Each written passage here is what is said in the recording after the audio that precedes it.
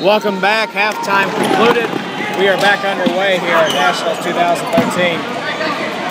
Number 10, Avalon, somehow manages to get the ball up and block that chest pass in the opening rush. Let's ground, let's ground. Let's ground. A little bit of disputes on the left side. I know. Opening rush. I've come around on it, but it's still a lot of confusion because there's so many people in such a tight area. Ooh. Number 55 taking down uh, number 7 there. Oh, Miami. Yeah, it's a good idea, a good strategy to take out their best players first, if, you know. But if you think about it, sometimes you want to bury that best player on the jail line a little bit. If he goes out first, he's the first one back in. Well, that's true. So there is something to be said for waiting to take out the best player until maybe fourth or fifth. Because most teams at max will maybe get four or five catches a point, you think? That is true. You have a really valid point. Number 57 gets it on the back there from Northwestern State goes out. 55 with the kill on number 10, Avalon. It's really frantic right now. I think we need a little bit more ball stragglers on the sidelines. that would be nice. 60 goes out there for Northwestern State, dropped the ball he was, he was blocking with. Tumor number five is upset. 10, Walker Shed. 11, 12. Number five, Tumor, get out. Yes. Okay.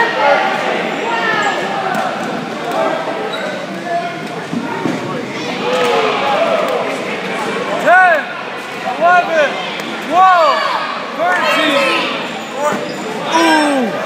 Just a little, nice little uh, chest high throw there from 32 is easily caught by the Miami player. I noticed uh, Miami actually has a couple catchers on their team. Yeah, they do. They've made quite a few catches thus far in this game. Imagine if they had a full 15 on 15 squad. I think this would be a much different game, but I still think Northwestern State would be leading. They have been the better team thus far. True, they're a lot more aggressive uh, Yes. on the offensive front. If you notice, Miami has been on their baseline for most of the game. Yes, I've also noticed that Another catch brings back in number seven. So, like I said, that strategy sometimes can backfire. But in the same uh, instance of that, number 54, who could actually throw, Ten. he's out. 11, 12, 13. It's always good to have a few aces up your sleeve. Yep.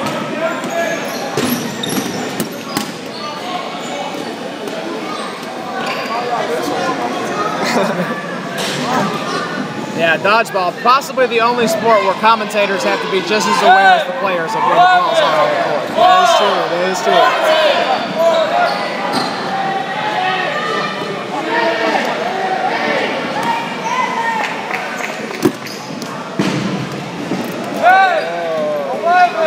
Is he in or is he out? I don't know, that was a pretty close shot. You just tend to trust the player's judgment.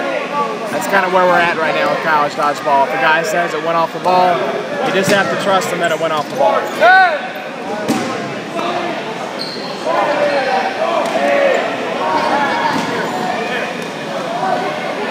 Demon Dodgeball, they are not backing down. They're staying in neutral zone, stacked on the left side.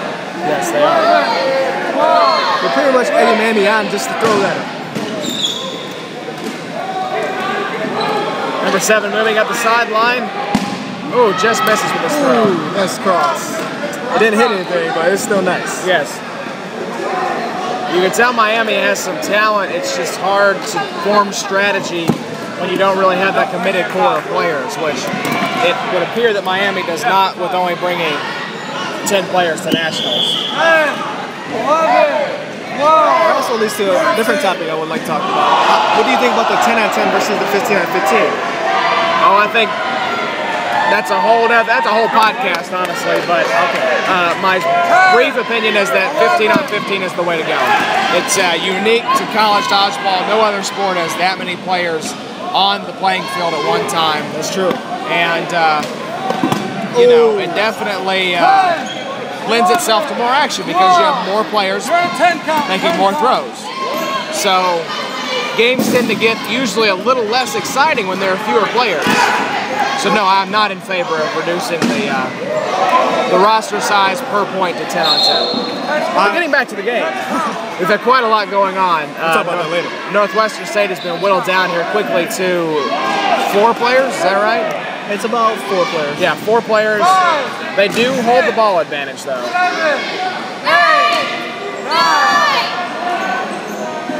Seven, eight, nine. And number 58, I believe, was going to throw and hit his teammate's shoulders. The ball kind of just lollygagged up in the air there, but still counts. I'm a bit surprised that Miami's up right now. Five, I'm a bit surprised that Miami's up. Well, right it's the it's the ball advantage, I think. Northwestern State is making these throws and getting the you know the ricochets. It's allowing them to stay up and stay aggressive.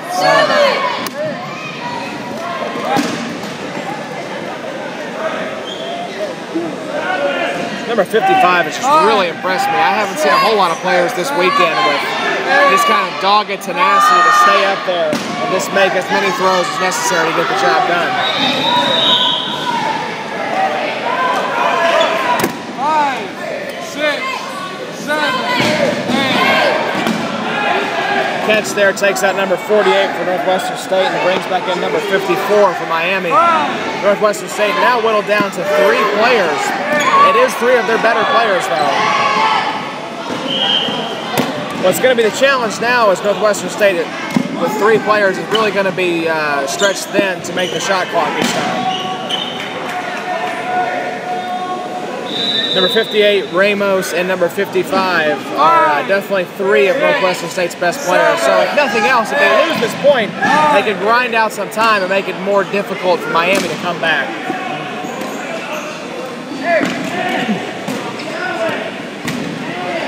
Miami's pushing up a little bit. They're back in the neutral zone finally. Oh, wow. What a great catch there by Ramos. But it backfired. Brings back in another great player, number 56 for Northwestern State. five, six, seven, eight. Another player went out for Miami there. I can't quite see a number, but it looked like it happened on a group throw from Northwestern State.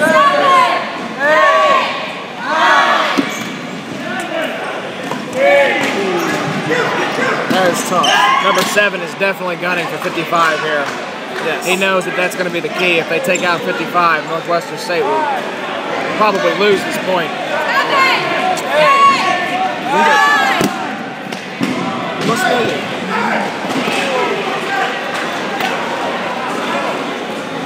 If Miami can get some team throws coordinated, they actually have a chance. Yeah, they're, they're pretty much solo throwing everything.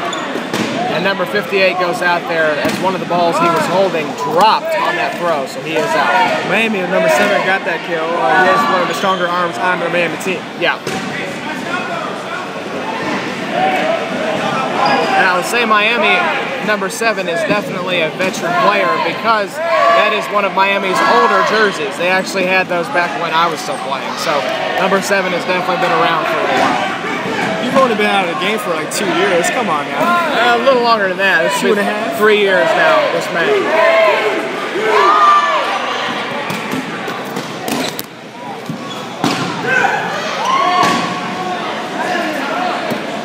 Ball's flying into the commentator's table. That's actually the first time I've gotten hit all day. So I'm actually pretty happy. By, by like a ricochet. Oh, me and Boomis, man, we had problems earlier the Did you? yes.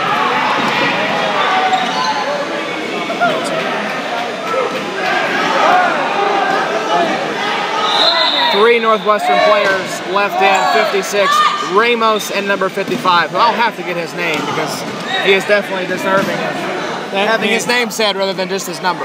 That he deserves an interview after this game. I agree.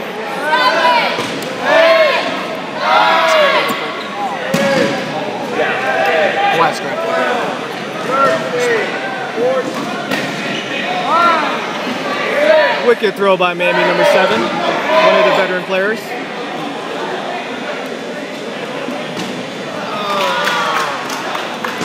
How did 56 go out there? Down to one, number 55, the lone survivor. Let's see what he can do here. Number 56, Number eight, Meyer, misses his opportunity to uh, take down 55 there. He was creeping along the sideline right next to the scorer's table, but just came up short. it would have been a good snipe. It would have been a good snipe. I didn't even see him there. He's totally ninja. He was ducking right in front of us, literally. We couldn't see him. Miami's doing a train formation. We used to call that the sideline assassin. Players that would creep up the sidelines, you wouldn't see them until it was too late. Wow, and a very clutch catch by number 10, Avalon. Secures the first point for Miami, so uh, here with uh, some time gone by in this second half, it is uh, Miami 1, Northwestern State 3.